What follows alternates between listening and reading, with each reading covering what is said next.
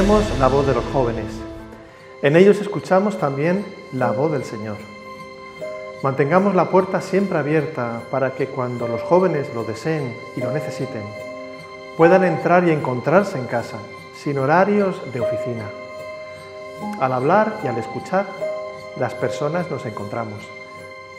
Démosle la oportunidad de compartir historias, de bucear en sus vidas, de comunicarse desde la alegría y el dolor, desde la palabra y desde la mirada. Solo así, cuando estemos con ellos, seremos una buena noticia.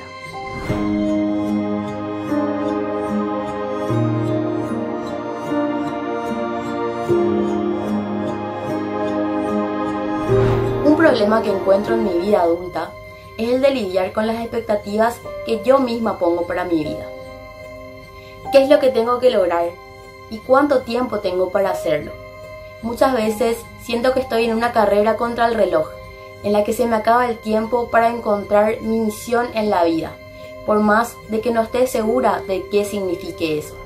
I, as a young person of today, who currently lives in the time wherein I feel like everything is in a rush, as if I need to accomplish everything as soon as possible.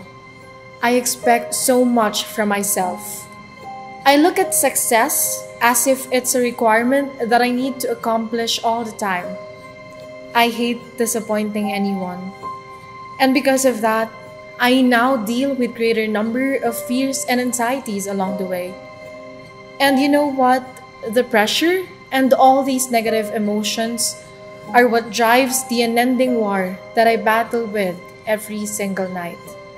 The thought of wanting to pull the trigger every time things would seem to be unbearable and hard is always there. Au plus profond de moi, j'ai un problème qui me dérange. Dans l'environnement où je vis, il y a trop d'injustice, il y a trop de différences, il y a trop d'inégalités sociales et ça me révolte. Quand je me promène dans mon quartier, ça m'arrive à comparer ma vie à celle des autres. Je me rends compte de situations embarrassantes. Il y a des personnes qui manquent même les minimums pour vivre, qui couchent sur la dure, qui mangent maigre et qui ne sont pas scolarisées.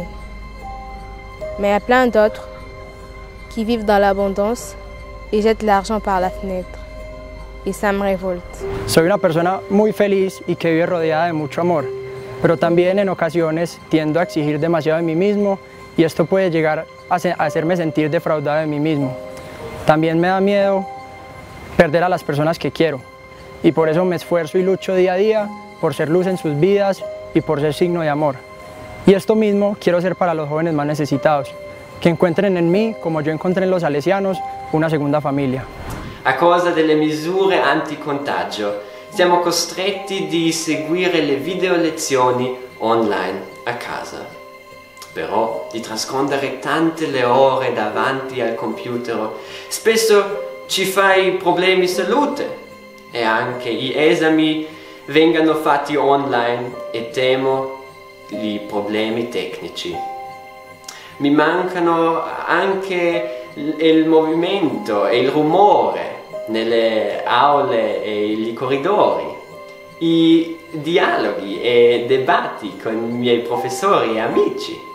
Non vedo, non vedo l'ora di andare e di ascoltare di nuovo le lezioni all'università. Da circa un mese e mezzo lavoro in un reparto Covid e quando mi hanno chiesto di girare questo video eh, con le mie ansie e preoccupazioni, ecco, è stato un po'... ho subito pensato, eh, ne ho tante. Eh, però mi sono resa conto che pensandoci che non sono legate al prendere la malattia, anche perché l'ho già presa e lavorando appunto in un reparto dove i pazienti sono positivi, eh, sono più legate a, al fatto che eh, sono chiamata ad essere eh, gioia e speranza in un posto eh, dove le persone soffrono, ecco. Ritengo che questa sia una grande grazia, stare vicino a, a chi nel dolore lo è sempre, ecco, probabilmente, eh, però è... La preoccupazione è tanta, la preoccupazione è tanta perché vedo che queste persone sono sole, questa malattia è brutta, perché ti fa soffrire da solo, nessuno può esserti prossimo e come medico sto proprio cercando di, invece di essere carezza, di essere abbraccio, di essere eh, mano sulla spalla di chi sta soffrendo solo. Proprio ieri abbiamo riavvicinato un marito e una moglie che non si vedevano dopo un mese di malattia. E questo mi ha commossa e mi sono resa proprio conto che il Covid è quotidianità, non è un periodo straordinario, non è un extraordinario, è proprio diventato la nostra normalità. Non dobbiamo aspettare il dopo per iniziare a fare qualcosa, per, per iniziare di nuovo a voler bene voler bene in una forma diversa probabilmente, perché siamo distanti ed è vero, però non deve mai mancare eh, una mano sulla spalla, non deve mai mancare una telefonata a chi si sa essere malato o isolato. Mi sono resa conto che davvero quello che più mi spaventa, quello che più mi fa ansia è l'idea che ci sia qualcuno che ha paura dell'altro, che qualcuno di noi che ci prendiamo cura anche eh, dei giovani, ma non solo, ma anche di chi ci sta vicino, abbia davvero paura dell'altro e per questo non si renda prossimo. I, as a young person of today, who currently lives in the time wherein I feel like everything is in a rush, as if I need to accomplish everything as soon as possible. ¿Qué es lo que tengo que lograr? cuánto tiempo tengo para hacerlo. Muchas veces siento que estoy en una carrera contra el reloj. Il y a trop d'injustice, il y a trop de différences, il y a trop d'inégalités sociales y ça me révolte. También me da miedo perder a las personas que quiero.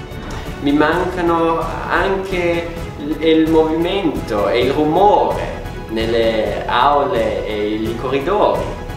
Questa malattia è brutta perché ti fa soffrire da solo.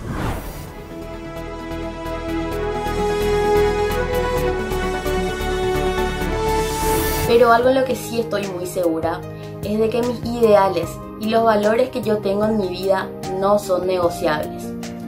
También de que mi vida dentro de la iglesia y mi vida en la sociedad no tienen por qué ser diferentes.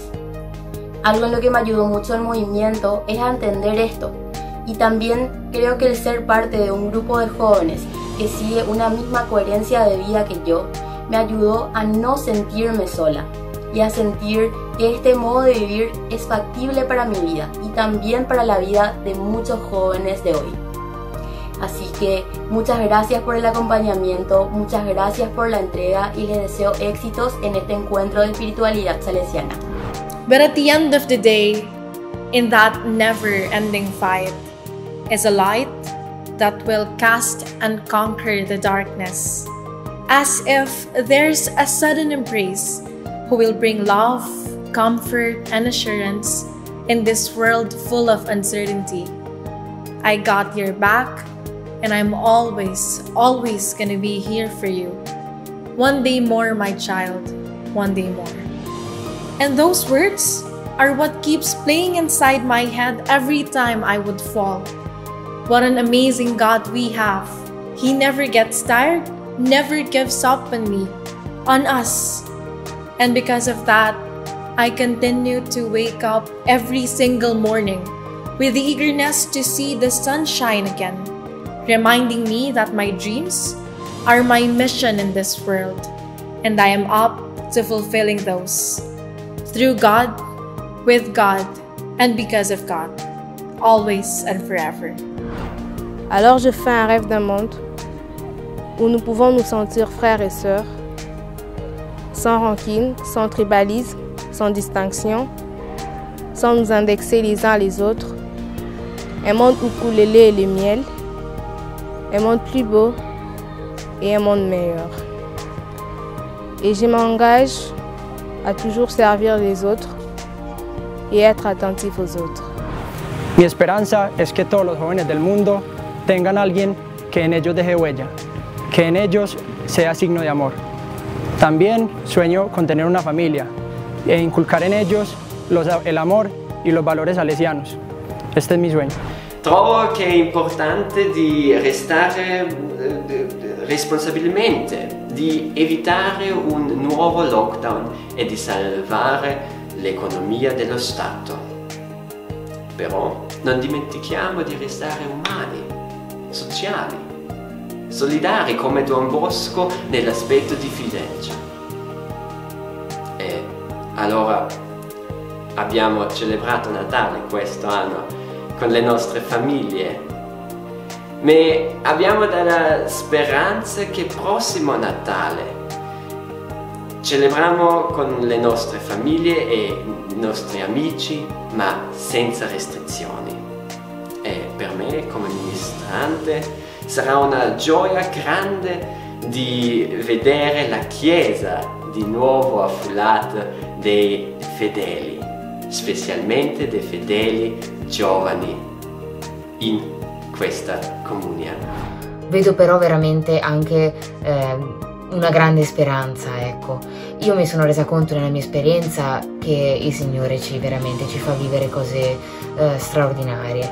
Io, mm, appunto cresciuta con i salesiani e mm, son, mi sento di essere per i giovani, sono stata mandata in un reparto dove le persone ricoverate sono anziane e mi rendo conto che sto imparando di nuovo a voler bene a qualcuno che non è la fascia di età che, che sento essere quella che il Signore mi affida, ma in questo momento me ne sta affidando un'altra. Credo quindi che veramente noi possiamo essere speranza, noi possiamo essere angeli per queste persone, per tutte le persone che ci sono affidate, qualunque esse siano nel periodo che magari viviamo anche di grande fatica e solitudine noi stessi, perché chi è solo diventa sempre più solo. Ho pensato molto a quello che dice Don Bosco eh, degli esercizi della buona morte, può sembrare un po' strano, magari messo nella parte anche delle speranze e dei sogni, ma è proprio così, noi siamo, il Signore ci sta dando l'occasione di pensare tanto a chi muore, ai nostri cari, ma anche a noi stessi perché viviamo comunque nella paura. E mi rendo conto che questo non si può distaccare e discostare dal pensiero del paradiso. Noi non dobbiamo smettere di essere dove il Signore ci mette oggi. Covid-19 è l'esperienza dove il Signore ci sta facendo lavorare ora e deve essere un pezzo di paradiso per chi ci sta accanto. As a young girl, I went through hard times. Even at the point of losing hope in God. But God is present in my everyday life. I feel supported in the struggle of everyday living and healed by negative emotions.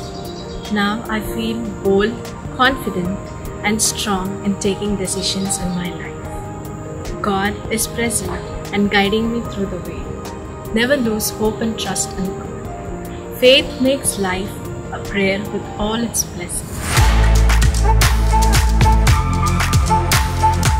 A no sentirme sola y a sentir que este modo de vivir es factible para mi vida.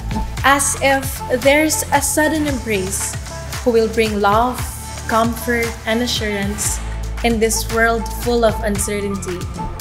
Alors je fais un rêve d'un monde où nous pouvons nous sentir frères et sœurs Mi esperanza es que todos los jóvenes del mundo tengan a alguien que en ellos deje huella. Ma abbiamo della speranza che prossimo Natale celebriamo con le nostre famiglie e i nostri amici. Credo quindi che veramente noi possiamo essere speranza, noi possiamo essere angeli per queste persone. Now I feel bold, confident and strong in taking decisions in my life como miembros de la familia salesiana. ¿Cuál es nuestra respuesta a la voz de estos jóvenes que representan a millones de personas? Guíennos, no nos olviden, continúan gritando, llorando, insistiendo. Démosles tiempo y no solo espacio. Construyamos relaciones y no solo proporcionemos servicios ofrezcamos fraternidad y no solo estructuras.